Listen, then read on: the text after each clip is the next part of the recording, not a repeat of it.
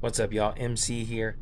Hey guys, I'm to do a real quick one with you tonight because this isn't a new knife. This is just a variant of a knife that's been out for a minute. This is the Honey Badger, and I got the Warncleaver N14C28N. Uh, I do really like the box though, and they give you a tool to adjust the pivot and all the hardware on it, and that's pretty cool. Um, now these have been out for a bit in 8CR and D2. I don't really buy 8CR hardly at all anymore a little bit, but not much. I have to love the knife, and it has to be a great deal.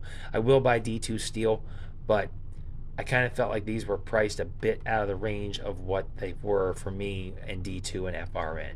So when they did come out in 14C28N, I had to try one because I do think they're good looking knives. Now let me show you this. This is right out of the box. I haven't tightened anything, loosened anything, oiled anything. That is fantastic action. Like I don't know who OEMs these, but is fantastic. Now I guess this is the Warncleaver. It's supposed to be a combination of the Wharncliffe and the Cleaver. It's a really lightweight knife too, guys. It's under three ounces. I don't remember the exact weight. I'll put it on. I'll flash it on the screen when I finally post the video, though. Uh, it's, has, it's got a flipper tab, which works. You can reverse flick it, and that's awesome. I remember if I get my thumb in there or not. Yeah, I can get my thumb in there. All three deployments work really well.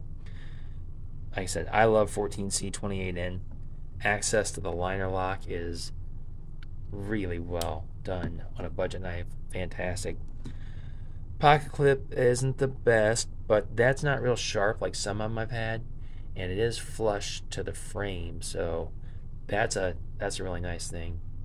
Came centered really well. I can't believe how lightweight it is, and the action, man. Like, I can't believe how good the action is for a budget knife that I haven't done anything to. I haven't adjusted it at all. One negative is these are FRN handles. So if you hate FRN, which I have a few in FRN, I don't hate them. I don't love them. These aren't bad. The ergos are good enough. I do feel that pattern a little bit, but it doesn't create a hot spot or anything. Um, could have done without that pattern, honestly. But I get it. It's part of their thing.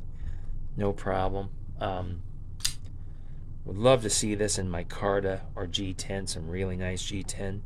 But can't have everything. But uh, I think this one's $65.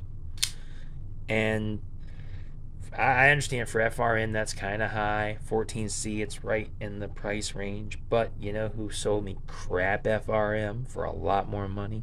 Honey Earmuffs. Spyderco sold me this hunk of crap FRN for $180.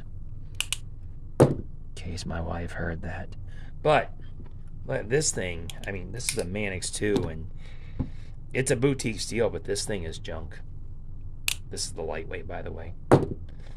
And if Spyderco can get by with selling that FRN, which is also pretty garbage FRN, very gritty almost, I'm not going to hate on Honey Badger for selling this FRN.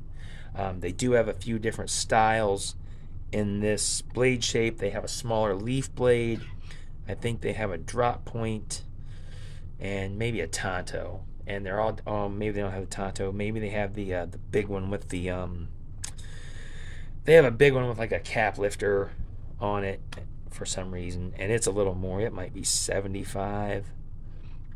So anyway, I'll put a link where I got mine. I think it's a fantastic knife. Uh, the FRN doesn't bother me because it doesn't feel cheap in the hand and it's so lightweight it disappears in the pocket. Really nice drop shut action. I'm impressed. This is the Honey Badger Warncleaver in 14C28N I do look forward to trying some of their other stuff. Um, thanks for watching guys. I'm MC let me know how you feel about this one in the comments or if you have the D2 or the uh, 8CR version. Let me know how that is or if you think this thing's a giant hunk of junk. Feel free to agree with me. Thanks for watching, y'all.